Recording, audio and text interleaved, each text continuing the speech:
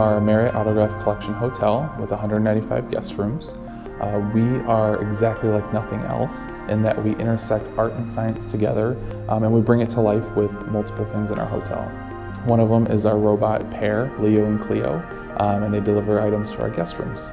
When we get the notification from the guest that they would like an item, um, the front desk loads the robot, tells the robot where to go, and then the robot is on their own from there. Hotel EMC 2's philosophy of bringing together art and science aligns very well with Kone's emphasis on innovation.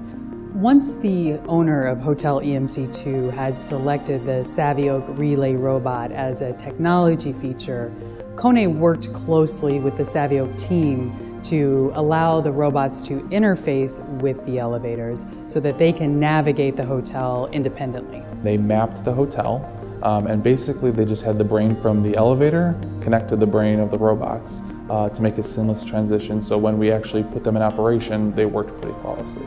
So we find that our guests have higher expectations now more than ever, especially in this technology world um, where everything's connected through social media. Um, when they get here though, the robots and the relationship with the elevators blows their mind. Hotel EMC2 really embraced Kone's vision of people flow intelligence and incorporated our destination control technology, the Kone info screens.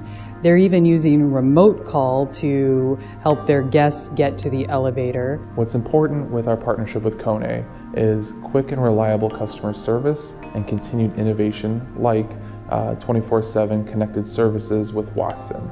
Um, at the end of the day, uh, our happy guests make us happy clients.